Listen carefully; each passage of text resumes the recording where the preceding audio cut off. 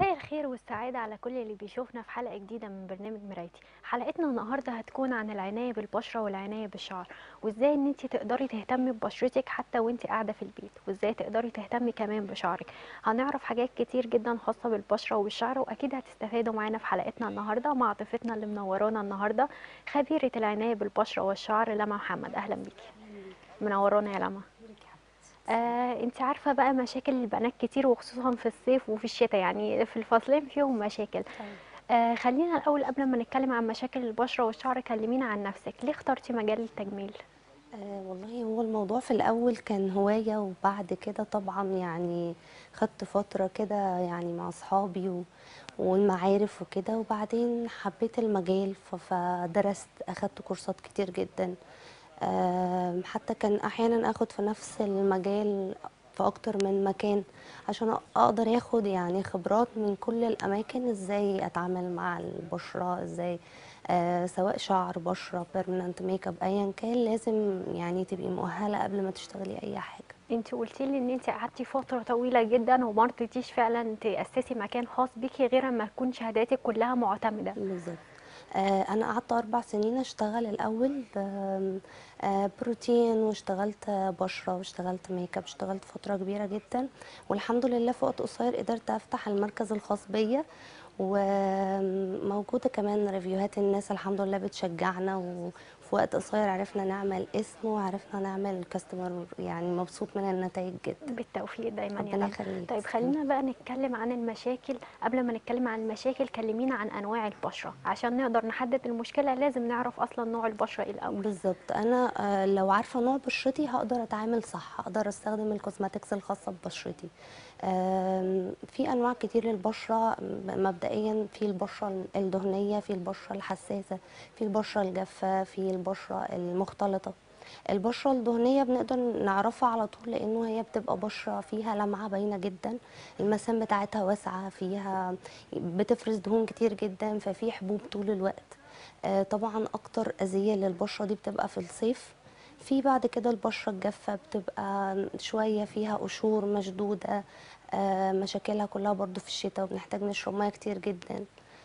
في البشرة الحساسة ودي بتبقى من أقل حاجة طبعا بيحصل التهاب أو احمرار آه، في الشمس آه، بتبذل مجهود أي حاجة بيبان على البشرة رياكشن سريع جدا جدا. في البشرة المختلطة ودي بتبقى بشرة دهنية في ال T-zone منطقة ال T-zone الأنف و- والجبهة آه آه ال T-zone وبعد كده بيبقى في بقى ال- الجزء الباقي من البشرة بيبقى يا إما جاف يا إما عادي. يعني بشرة ما بتديش أي react آه طبعا كل بشرة لازم تبقى كل آه، يعني حد عارف بشرته نوعها إيه عشان يقدر يتعامل معاها ويتعامل مع المشاكل اللي بتو- بتواجهه. هل بيحتاج لمتخصص عشان يعرف نوع بشرته آه، ولا آه ممكن طبعا. يعرفها؟ آه آه طبعا ممكن يعرف يعني ولو ما قدرش يعرف في test حلو جدا وبيبين نوع البشرة إنه مجرد ما تغسل بشرتها كويس جدا بمية وملح وتستنى شوية وبعدين ممكن تحط وشها في منديل وتشوف لو في بقع زيتية أو حاجة فدي بتبقى بشرة دهنية. لو ما ظهرش أي علامات أو أي بقع دهنية يبقى دي بشرة عادية. وبرده لو ما عرفتش تلجأ لحد متخصص وهو بيعرفها نوع بشرتها إيه. إيه افضل بشرة بقى لحد مثلا ما هو يبقى بشرته كده يقول الحمد لله أنا في نعمة؟ آه، بصي كل بشرة ليها سلبياتها وليها إيجابياتها. يعني مثلا البشرة الدهنية على قد مشاكلها دي كلها إلا إن هي دايما ما بيظهرش عليها علامات تجاعيد أو تقدم سن. آم، البشرة الجافة ما بتعانيش أبدا مثلا من حبوب الشباب من آثار الحبوب من المشاكل اللي بتقابلها البشرة الدهنية. فكل بشرة يعني زي ما فيها حاجات حلوة وفيها حاجات وحشة جدا. تمام. إحنا كده بقى عرفنا أنواع البشرة. هندخل في الحق المرحلة الثانية اللي إحنا إزاي نهتم ببشرتنا. في روتين يومي لازم نمشي عليه طبعاً. روتين أسبوعي عشان نحافظ على بشرتنا. أكيد طبعا. اولا إحنا كلنا بنهمل شرب المية ودي أهم حاجة للبشرة. ثانيا لازم يبقى ال- ال cosmetics اللي بنستخدمها material نظيفة وبالذات اللي بتتحط مباشرة على البشرة. لازم يبقى عندي ريموفر كويس امسح المكياج ما نمشي بالمكياج بتاعي. يبقى في mask مثلا أو يوم أنا بريح بشرتي تماما ما بحطش عليها أي حاجة. آه، آه، مثلا ما ينفعش أستخدم ماسك أنا بشرتي دهنية وأستخدم ماسك خاص ببشرة جافة فهو هيأذيني مش هينفعني. فبرضه نرجع ونقول لازم نعرف نوع بشرتنا عشان نعرف نتعامل معاها يعني بالنسبة للماسكات أو كريمات مم. لازم بتكون معينة للبشرة طبعاً. البشرة الجافة البشرة العادية بالظبط يعني البشرة الجافة مثلا لو استخدمت طمي مغربي وهو حلو جدا جدا يقشر معاها أكتر ويدي لبشرتها جفاف أكتر. آه فإحنا لازم نستخدم نعرف إحنا نستخدم إيه نستخدم إمتى إزاي. يبقى انت بتسألي حد متخصص وبعد كده خلاص بقى. آه لازم يعني ما ينفعش حد ينام بالمكياج بتاعه. ما ينفعش أطلع في الشمس كل يوم وأنا مش حاطة أي صن بلوك. لازم أبقى في حاجات كده أساسيات بعملها كل يوم علشان يعني ما أذيش بشرتي. ده بالنسبة لو الروتين اليومي. جينا الروتين الأسبوعي بالنسبة لتنظيف البشرة. عندنا كذا مراحل أو كذا حاجة مخصصة لتنظيف البشرة. أول حاجة معانا إيه؟ آه، اولا إحنا لازم يبقى في تنظيف أسبوعي ممكن يبقى تنظيف بالبخار مم. اللي هو أنا بستخدم بخار سواء في البيت أو في أو في مكان متخصص والماسكات الخاصة ببشرتي. ده تنظيف أسبوعي آه أساسي. آه ده أساسي. في بقى جلسات النطياج اللي هي الجلسات التنظيف العميق ودي بتبقى كويسة جدا لو اتعملت كل شهر. بتبقى مراحل كتير ويعني بتخلصك من مشاكل قبل ما تبدأ. قولي لنا مراحلها كده بتكون عبارة عن إيه؟ آه، جلسة النطوياج أو التنظيف العميق للبشرة بتبقى بخار في الأول وبعد كده بنبدأ نغسل البشرة كويس جدا بالغسول الخاص بيها وبعدين بنستخدم السكرابات الخاصة ببشرتك برضو. آه بعد كده في مرحلة شفط دهون. الدهون اللي بتبقى المفروض لو انت بشرتك دهنية مثلا بتعملي أكتر من من تنظيف خلال الشهر. إفراز ال- الخلايا الدهنية بيبقى عالي جدا فبيبقى المسام مقفولة فبتطلع الحبوب وتبوظ شكلنا خالص. فأنا لازم أعمل تنظيف البشرة وبالذات اللي بيبقى فيه مرحلة شفط الدهون دي بتخلصك من مشاكل انت في غنى عنها. تمام. بعد مرحلة شفط الدهون بيجي الألتراسونيك أو شد التجاعيد وده طبعا برضو في جهاز النطوياج هل ده ممكن بنات في سن العشرينات تعمله آه ولا؟ طبعا. يعني الوقاية خير من العلاج. يعني أنا لو استخدمته بدري أفضل من إني أستنى لما يبقى فيه تجاعيد وبعدين أستخدمه أو ألجأ للنطوياج آه بعد يعني هو مفيد. عشان في ناس ممكن تقول لك هي لسه بنوتة صغيرة ما لا تستخدمش ابدا. حاجة للتجاعيد. لا هي ما عندهاش لا أصلاً. ابدا إحنا بنستخدمها عادي من من سن العشرين لأنه آه أنا كل ما استخدمتها بدري كل ما كان أفضل وكل ما النتائج كانت أفضل. تمام. بعد ال ultrasonic طبعا بنبدأ مرحلة الماسكات الخاصة بكل بشرة وبعد كده مرحلة التغذية. في مثلا بنستخدم كولاجين بنستخدم vitamins بنستخدم material تبقى برضو كويسة تغذي البشرة. آه وبعد كده بقى شغل الليزر. بنقفل المسام بالليزر. آه بن بنقضي على أي بكتيريا موجودة مثلا على من الحبوب أو من آثار أي حاجة. وبس طبعا في تفاصيل كتير قوي في دي النص بقى. بالنسبة لجلسة النتواج ممكن مرة كل شهر آه أقل حاجة. كل شهر بس لو هي بشرتها دهنية أو عندها مشاكل أكبر يفضل مرتين في الشهر كل أسبوعين. تمام. آه في تقنية جديدة ظهرت يمكن في ناس كتير جدا ما تعرفش برضو عنها آه تقنية ال facial LED. آه آه، جهاز ال facial LED هو جهاز قناع هو safe جدا وآمن جدا آه، بيبقى بت- بتعتمد على برضو أشعة ال ultrasonic بيبقى الجهاز ده عبارة عن كذا لون المتخصصة طبعا أو ال- ال- المركز اللي بتروحيه بيبقوا فاهمين بيتعاملوا إزاي مع الجهاز. في حد بيبقى عنده مسام واسعة مش عارف يتعالج معاها إزاي دي ملهاش دعوة خالص بال nettoyage. دي شغلها كله بيبقى بال facial LED أو بال derma roller اللي يعني آه، ممكن نتكلم عنها بعد كده. آه، مسام واسعة هالات ندبات تصبغات كل الحاجات دي ال facial LED بيعالجها. كل ضوء ج- منه. جلسة كل قد إيه؟ يعني كل أسبوع على حسب الحالة. لو في يعني مشكلة واضحة أو كبيرة بيبقى كل أسبوع بنعمل جلسة. ممكن المشكلة دي تتحل في خلال قد إيه؟ يعني مثلا تاخد كام جلسة؟ هو ال effect بتاع الجلسات بيبان من تاني جلسة أو تالت جلسة. أقصى عدد ما هو من تلات لست جلسات. أقصى عدد ست جلسات وبيبقى الفرق واضح جدا جدا يعني. تمام. جينا بقى لآخر حاجة في العنايه بالبشره الديرما. الديرما اللي انتشرت وفي ناس كتير بتتكلم عنها وفي ناس بدأت تجربها. آه طبعا كلميني عن الديرما شوية. إيه فوائدها؟ آه هو الديرما هو جهاز عبارة عن زي شوكة فيها سنون كده بتبقى طبعا بمقاسات كتير. اللي مسموح بيها أو اللي الناس بتجيبه بتشتغل بيه في البيت أو موجود على الإنترنت أو كده بيبقى آه خمسة ملي آه ده اللي مسموح إنه يعني استعمال شخصي. بعد كده. آه بعد كده طبعا في مقاسات. كل مكان ليه ليه مقاس وكل يعني آه، ما اختلف الهدف من الجلسة بيختلف برضو المقاس بتاع ال derma roller ال derma roller ما هي إلا يعني بتعمل بتعمل على البشرة micro channel بنمرر من خلالها ال treatment أو العلاج اللي البشرة محتاجاه. لكن لوحدها طبعا ما بتجيبش نتيجة. آه، أنا فهمت منك دلوقتي إن مثلا كل مشكلة انت بتستعملي حجم ال derma. على حسب المشكلة اللي في البشرة بالظبط تمام؟ يعني آه. هل برضو البنات لأن البنات بقت تجيبها كتير في البيت آه آه. الأساسي إن إحنا أي حد يستعملها في البيت مش من خلال متخصصة يجيب 5 مللي آه فقط. الخمسة كانت مللي حلوة جدا عنده للنضارة حلوة جدا وبتبين ال... يعني لو بتستخدمي معاها كولاجين أو أي مادة يعني ك... ك... كنضارة بتبقى حلوة ونتائجها بتبقى حلوة وسيف برضو آمنة جدا. آه، لكن الأعلى من كده المقاسات اللي اعلى من النص لازم متخصصة. تمام. آه بالنسبة بقى ال derma pen انت قلت لي في فرق اختلاف ما بينهم. إيه الاختلاف ما بينهم؟ بصي هو يعني أنا بفضل ال derma pen أفضل من ال derma roller لأنه آه، في ميزة في ال derma pen إن القنوات اللي بتعملها بتبقى straight أو بشكل رأسي على عكس ال derma roller بتبقى ال- ال- القنوات اللي بتعملها في البشرة بشكل اسطواني فبتخف آه، أبطأ مم. من ال derma pen. آه، والألم كمان في ال derma pen أقل بكتير من ألم ال derma roller النتائج أسرع يعني هي نفس التقنية بس يعني مطورة شوية. تمام. هل متاح برضو حد يستخدمها منزلي ولا لازم من طريق متخصصة؟ أنا أفضل ال derma pen يبقى متخصصة أو مركز متخصص أما ال derma roller عادي يعني ممكن أي حد يستعملها بس زي ما قلنا بالمقاس المخصص للاستعمال الشخصي. تمام. خلينا بقى نتكلم على تاني جزئية وهو الشعر زي تمام. ما إحنا عارفين الشعر هو تاج المرأة. أكيد. طيب كلمينا إحنا في. زي ما لازم نعرف نوع بشرتنا لازم نعرف نوع شعرنا. إزاي بنعرف حاجة زي كده؟ بصي هو في يعني الشعر يا إما جاف يا إما دهني. بيبقى باين قوي الشعر الزيتي أو اللي فيه لمعة واضحة آه، اللي بيعمل قشرة باستمرار. ده بيبقى شعر دهني. آه الشعر الجاف برضو بيبقى شكله واضح جدا وباين إن الشعرة جافة ويعني أي مادة تحطيها عليها بتشربها بسرعة جدا.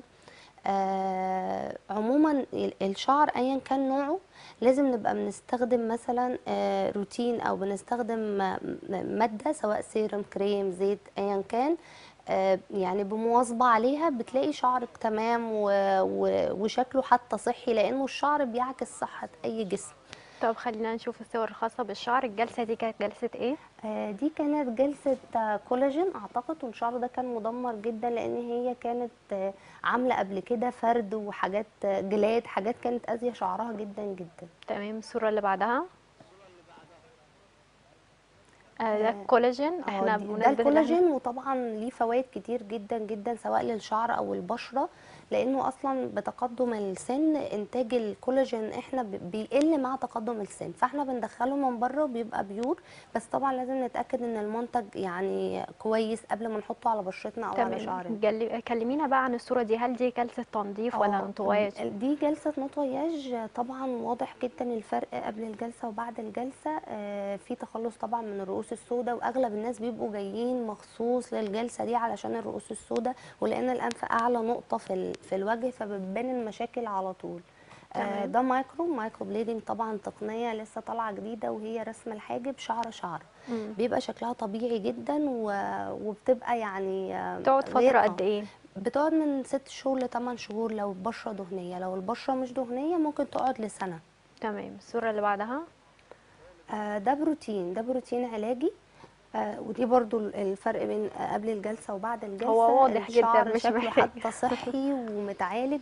لا هو طبعا بيختلف تماما عن البروتين الفرد آه،. لأنه أغلب الناس يعني يعني زي ده برضو ده بروتين علاجي. انت بتستخدمي يعني بتعتمدي أكتر على البروتين العلاجي؟ آه أنا بفضله لأنه حتى ال side effect بتاعته أقل بكتير من البروتين الفرد وما بيبقاش آه، قوي على الشعراية وبيعالج مشاكل كتير جدا. تمام الصورة اللي بعدها؟ برضو ده بروتين علاجي okay بعدها؟ آه، دي جلسة ترميم آه، أعتقد دي كانت filler وكان شعرها يعني مدمر تماما. ودي بعد أول جلسة النتيجة دي بعد أول جلسة الشعرايه حتى آه، يعني فيها صحة وشكلها جلسة حيوي. ترميم؟ آه دي جلسة ترميم. تمام الصورة اللي بعدها؟ آه، ده filler ده أعتقد filler وكان برضو ترميم. وكانت طبعا الصبغة هلكة الشعراية جدا جدا و... وأنا أفضل نستخدم الصبغة ال zero أمونيا علشان ما نوصلش لإنه شعري يبوظ واضطر أعالجه. يعني لو هل بتعملي أمونيا. يعني الترميم أو البروتين آه، في نفس جلسة ال- الصبغة؟ لا طبعا لازم يبقى في فرق علشان الشعر يرتاح. يعني مثلا من يومين لثلاثه ده أفضل وقت لو انت هتصبغي وتعملي آه، آه، بروتين.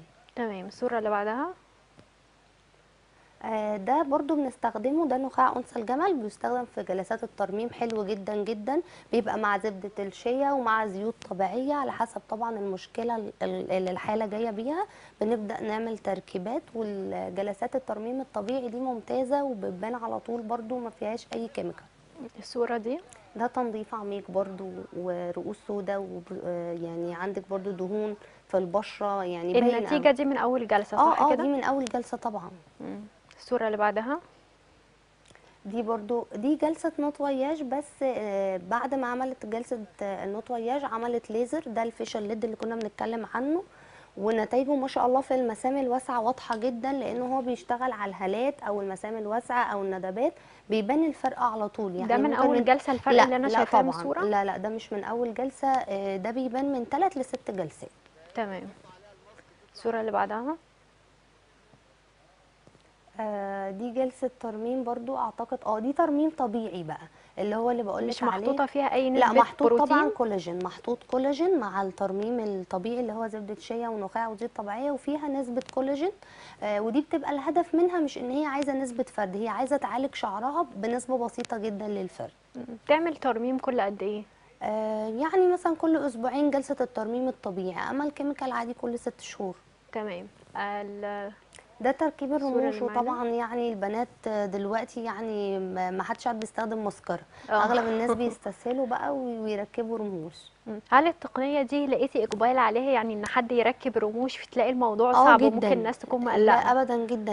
يعني يمكن كمان المايكرو أو التوريد زي ما إحنا شايفين الرموش ال- ال liner ال- ال make up الدايم بقى عليه إقبال شديد جدا جدا جدا. آه، لأنه إحنا بس عشان نقول للناس في ناس بتبقى مقلقة وبتبقى لا تقول لأ ابدا هو فانت هو الموضوع بسيط. الموضوع بسيط جدا وما فيش أي وجع ولا أي حاجة. وبيبقى طبعا الشغل على أول طبقات الجلد. يعني ما كأن انت يعني داخلة كده في خربشة بتحصل حاجة بسيطة جدا وبتدي effect جميل وبيريحك بقى من استخدام أي make up. لتوريد الشفايف بيقعد فترة قد إيه؟ آه التوريد بيقعد سبع شهور لأنه طبعا إحنا يعني أكتر مكان ممكن بنتكلم بن بناكل كده فبيبدأ اللون يبهت أسرع من أي permanent make up تاني في الوجه. تمام وبالنسبة لتركيب الرموش بيقعد قد إيه؟ الرموش ثلاث شهور. ثلاث شهور. آه. في صور معانا ولا دي آخر صورة؟ دي ده برضو nettoyage okay. دي آخر صورة معانا. خلينا بقى نرجع لك تاني ونتكلم بالتفصيل عن جلسات الترميم والبروتين. كلمينا عن جلسات الترميم. بتكون عبارة عن إيه؟ آه، جلسات الترميم زي ما قلنا يا إما ترميم طبيعي يا إما ترميم اللي هو الكيميائي. الترميم الطبيعي للناس اللي مش عايزة نسبة فرد. هي بس بتعالج تقصيف هيشان تساقط آه، ايا كانت المشكلة بس هي مش عايزة أي فرد في الموضوع. بنبدأ طبعا آه، نستخدم زبدة الشيا الزيوت الخام زي زيت ال- الجوز الهند زيت الزيتون ايا كان نوع الزيت وبنحط فيتامينات وبنبدأ نعمل الجلسة بتبان طبعا من أول جلسة بتشوفي فرق واضح في صحة الشعراية زي ما إحنا شفنا طبعا في آه الصور آه طبعا. طيب بالنسبة للترميم ال chemical الترميم الكيميائي اللي هو ال filler أو البوتكس أو الكولاجين. كلمينا عن كل واحد آه. بقى كده. بصي هم هقول لك نفس ال effectات أو نفس الشغل هو هو بس آه هو زيادة عن البروتين بإنه في أحماض أمينية أكتر بإنه في نسبة بروتينات أكتر نسبة زيوت طبيعية أكتر فبتجيب نتائج أفضل من البروتين. البروتين بعد فترة أغلب الناس اشتكوا من إنه هو لأ بيوقع شعرنا اللي طالع بيطلع أسوأ من القديم. فال filler أو البوتكس أو الكولاجين آه، معالج أكتر من البروتين الفرد ونسبة الفورمالين فيه قليلة جدا جدا جدا قد تصل إلى 10% يعني أقصى حاجة 10% على عكس البروتين الفرد بتبقى فيه نسبة فورمالين عالية جدا. تمام. بس هو ده يعني ال- الترميم أو الفرق بين البروتين والترميم لأنه أغلب الناس بيسألوني السؤال ده. تمام خلينا نتكلم عن الترميم شوية زي ما انت عن البروتين sorry آه في ناس كتير جدا زي ما انت قلتي بتبدأ تقلق من البروتين بتقول بيسبب تساقط بيسبب بالظبط. هيشان الشعراية بتطلع برضو ناشفة مش آه. علاجي آه. آه في هل ده عشان ناس استخدمت نوع بروتين سيء؟ هقول ولا السبب إيه؟ بصي هو بيبقى المشكلة يا إما في المتخصصة اللي بتطبق ال- الشخص اللي انت عملتي عنده مش دارس ومش عارف فيا إما مثلا بيبقى درجة ال- المكوى ال- ال- الشعراية مش مستحملاها درجة مكوى عالية جدا فبتبدأ تأذي الشعراية. أو العيب في المادة نفسها بإنه في طبعا شركات كتيرة جدا للبروتين وفي منها الرديء وفي منها الكويس فلو حد طبعا ما عندوش ضمير بيبدأ يجيب material أو مواد رخيصة جدا وبتبقى نسبة الفورمالين فيها وحشة فهو ده اللي طلع السمعة الوحشة عن البروتين تمام إزاي لو كانت لك أي عميلة مثلا عشان تكون مطمنة تكون لسه أول مرة اتعاملت معاكي. إزاي تعرف تفرق هي كعميلة مش متخصصة الفرق ما بين البروتين اللي zero فورمالين آه. والبروتين اللي فيه فورمالين أثناء الجلسة نفسها المواد اللي بيبقى فيها فورمالين بتلاقي دخانة كتيرة جدا جدا جدا طالعة ده لو التطبيق فورمالين. آه عينيها كمان بتبدأ تحمر بتبدأ تدمع بتبدأ إيه، نفسها مش قادرة تاخد نفسها وده بيبقى من علامات الفورمالين. وكمان المادة بتبقى تقيلة جدا وسميكة يعني شبيهة بالبلسم قوي. مم. على عكس البروتين اللي بيبقى نضيف أو نسبة الفورمالين فيه قليلة جدا ما فيش أي أعراض من دي خالص ولا بتشمي ريحة دخان ولا مثلا عينيكي توجعك ولا أي حاجة خالص. بت- بتبقى باينة وإحنا حتى أثناء الجلسة شغالين هي بتبدأ تقول إنه لأ يعني أنا مش ما شفتش النتيجة دي قبل كده أو ما وأنا بعمل بروتين قبل كده حصل كذا كذا فاهماني أقصد أقول لك إيه؟ فهي الفكرة إنه بيبان أثناء الجلسة البروتين النظيف من البروتين اللي لأ. تمام. بالنسبة بقى الستات الحوامل انت عارفة هم بيبقوا مثلا آه داخلين. آه، على الولادة والكلام ده كله بيبقوا. حابين آه. يعملوا برضو شعرهم ويهتموا بشعرهم هل آه. متاح للحوامل ولا بيبقى بتمنعي حاجة زي كده لا متاح طبعا بس بعد ما يعدي أول ثلاث شهور بيبقى فيه بروتين خاص بالأطفال وبالحوامل وبيبقى آمن جدا جدا جدا يعني وناس كتير استعملوه أو جربوه عندنا ونزلوا reviewهاتهم على ال group يعني نزلوا آرائهم عن البروتين على ال group وما شاء الله يعني كله مبسوط من النتيجة جدا طيب بالنسبة للأطفال بما إنك جبتي سيرة الأطفال وإحنا دخلنا على مدارس في بنات كتير آه. جدا الصغننة بالذات لو شعرها وحش بتبقى زعلانة جدا. آه هل بالنسبة للأطفال بتستخدمي لهم آه يعني ترميم وفي نسبة من البروتين ولا بتستخدمي بروتين فقط؟ أنا بفضل يعني لو حتى جت الأم ومعاها البنوتة ونفسيتها متدمرة جدا من شكل شعرها وكده ما بنلجأش للبروتين direct لا لازم الأول يعني لو أنا ما عرفتش أقنعها إن هي كده كويسة وإن هي كده حلوة وإن شعرها جميل بنبدأ نعمل جلسات ترميم طبيعي الأول قبل ما نبدأ إن إحنا نتطرق لأي chemicals أنا بفضل ده إن إحنا نلجأ للحاجات الطبيعية الأول. والله ما فيش بقى خلاص والموضوع يعني مش نافع وشعرها سيء جدا. بيبقى بروتين بس لازم عند حد متخصص ومادة نظيفة جدا جدا. لأنك لو عملت لها أي مادة هتحكمي عليها باقي عمرها إنها تفضل تعمل بروتين وخلاص شعرها اتحرق وما بقاش نافع.